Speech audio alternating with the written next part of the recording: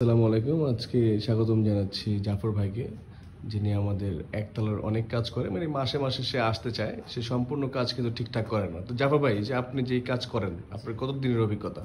আমার এই বিশ বছর স্যার বিশ বছর আপনি এই কাজ করতেছেন প্লাম্বারিং না? আপনি কি কি কাজে দক্ষ নিজেকে মনে করেন? নিজে দক্ষ প্লাংবারে যত আইটেম আছে ওই পুরোটাই ওইটার আইটেমের দক্ষতা আছে।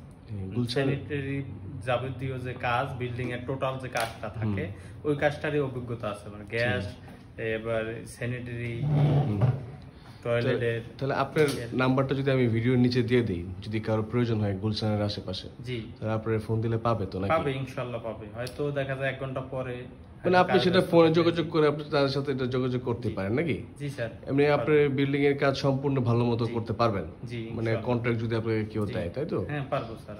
আচ্ছা আচ্ছা ঠিক আছে। তো জাফর ভাই হচ্ছে আমাদের এখানের অনেক কাজ করে। যাবতীয় সকল কাজই আমি তাকে দিয়ে করানোর চেষ্টা করি সে শুধু মাঝে মাঝে একটু বেশি আসতে চায় আর কি ভালোবাসে আমাদের তাই না?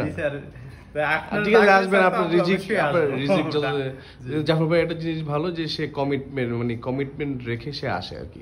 আগে প্রথম প্রথম একটু দেরি করতো কিন্তু এখন সে দশ মিনিট বলে পনেরো মিনিটে চলে আসে।